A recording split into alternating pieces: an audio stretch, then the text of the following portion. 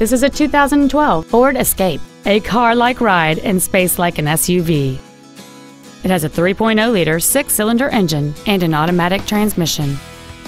Its top features include a power driver's seat, cruise control, an auto-dimming rearview mirror, commercial-free satellite radio, a leather-wrapped steering wheel, aluminum wheels, an illuminated driver's side vanity mirror, a low tire pressure indicator, keyless entry, and an anti-theft protection system. Contact us today to arrange your test drive.